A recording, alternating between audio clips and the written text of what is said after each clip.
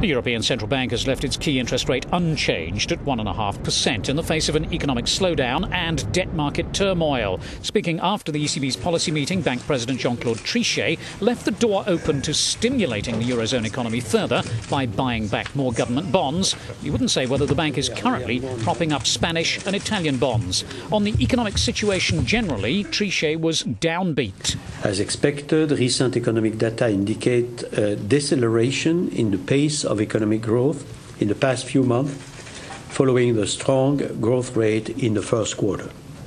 Continued moderate expansion is expected in the period ahead. However, uncertainty is particularly high. In response to the worsening Eurozone debt crisis, Trichet said that they would keep lending money to the region's banks with plenty of liquidity. Economists expect the ECB to pause on its interest rate raising cycle for several months, but Trichet wouldn't be drawn on that.